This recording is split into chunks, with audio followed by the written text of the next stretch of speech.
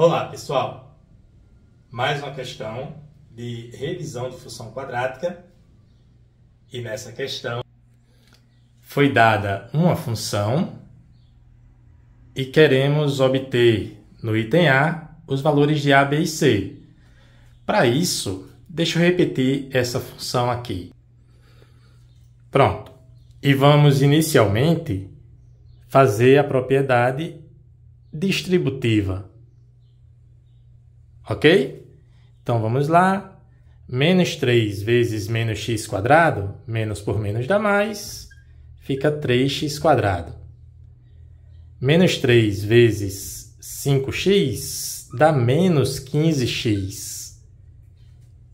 E menos 3 vezes menos 6, menos por menos mais, 3 vezes 6, 18. Beleza? Dúvidas, dúvidas até aí ou tranquilo? Muito bem. Nesse formato, a gente pode dizer agora que o valor de A é 3, o valor de B é menos 15 e o valor de C é 18. Tranquilo? Muito bem. Se tiver dúvida, poste nos comentários. Se não tiver dúvidas, vamos à letra B onde é pedido, onde são pedidos os zeros da função, tá? Então a função que temos é essa aqui. Podemos considerar essa função aqui. E os zeros da função é nada mais nada menos do que a gente pegar essa expressão e igualar a zero. Em seguida resolver a equação. Então, basta resolver essa equação. Como você prefere resolver essa equação? Por soma e produto? Pela fórmula de Bhaskara, que não é de Bhaskara? Ou por, pela técnica de completar quadrados? Muito bem. Pode escolher qual maneira você quer fazer. Eu vou só, inicialmente, lembrar que aqui a gente multiplicou por menos 3, não foi? Muito bem. Então, todos esses números aqui, ó, Todos esses termos foram multiplicados por menos 3. Então, eu vou começar dividindo por 3. Por quê, professor? Não dava para resolver direto assim, não? Dava, mas dividindo tudo por 3 vai ficar mais simples, tá? Então, vamos lá. 3x ao quadrado, quando dividido por 3, fica só x. Menos 15, quando dividido por 3, fica menos 5. Então, menos 15x dividido por 3 dá menos 5x. E 18 dividido por 3 dá 6. 0 dividido por 3 dá 0. Ok? Então, as, a, as soluções dessa equação aqui são as mesmas soluções dessa outra equação. Sendo que aqui os números são menores, é melhor de trabalhar. Inclusive, quando a equação está nesse formato, é muito bom resolver por soma e produto. Eu dou o braço a torcer, realmente é bem mais rápido. Então, vou resolver por soma e produto. Lembra direitinho, tá? O produto é o valor de C do termo independente, tá bom? Então, é 6. E a soma é o oposto do valor de B. B não é menos 5? A soma fica sendo 5 positivo. Se aqui fosse mais 5, a soma seria menos 5. Entendeu isso, né? Muito bem. Feito isso, agora nos cabe pensar em dois números que multiplicados dão 6 e somados dão 5.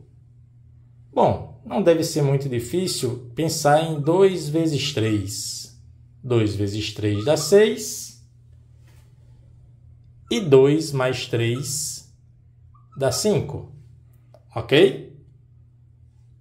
Assim, já que nós descobrimos esses dois números que atendem ao produto e à soma, podemos afirmar que as soluções são x igual a 2 ou x igual a 3. E assim a gente já resolveu a letra B, tá bom? Se você quiser, pode fazer assim na prova.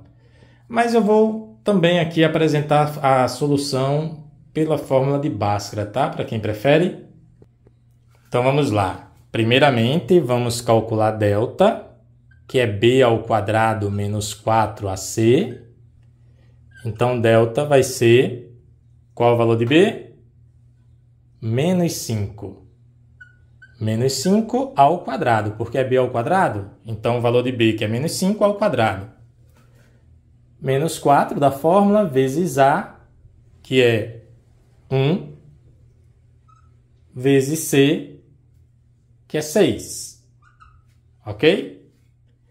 Daí, delta vai ser menos 5 ao quadrado, é menos 5 vezes menos 5, dá 25 positivo, né? Menos por menos dá mais. Já essa, essas multiplicações, 4 vezes 1 dá 4, 4 vezes 6 dá 24, então menos 24, tá? Menos por mais dá menos, e menos por mais dá menos. Daí, delta é igual a 1.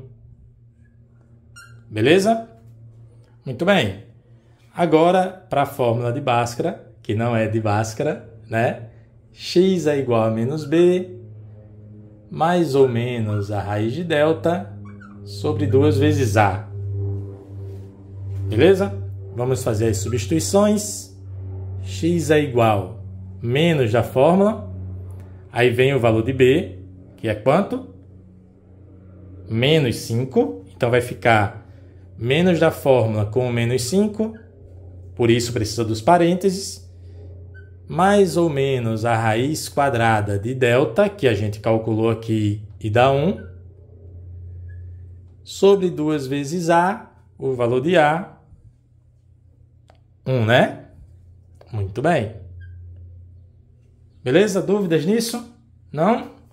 Se tiver dúvida, posta nos comentários. Se não tiver dúvidas, menos por menos dá mais, fica 5, mais ou menos a raiz quadrada de 1 é 1. 2 vezes 1 dá 2. Ok? É hora da gente separar em duas contas. Em uma a gente pega um sinal de mais e na outra o sinal de menos. Tanto faz a ordem, tá? Vou escrever então x é igual 5 mais 1 sobre 2, ou x é igual a 5 menos 1 sobre 2. Ok? 5 mais 1 dá 6 sobre 2, dá 3. 5 menos 1 dá 4 sobre 2, dá 2.